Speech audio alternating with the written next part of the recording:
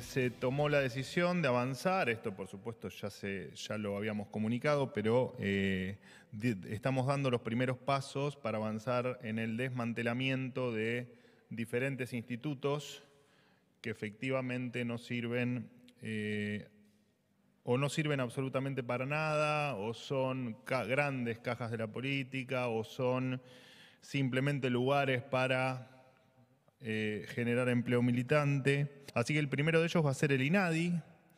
Eh, estamos empezando con su cierre definitivo. El instituto hoy cuenta con, bueno, el detalle también lo saben, pero eh, me gustaría recordar simplemente que tiene alrededor de 400, 400 empleados. Tiene decenas de oficinas a lo largo y a lo ancho del país. Y eh, bueno, lo cierto es que muchas veces estos institutos además siempre tienen la particularidad que eh, en, muchas oportunidades están conducidos por eh, funcionarios de dudosa idoneidad. No vamos a seguir financiando ni rosca política, ni lugares donde se paguen favores políticos,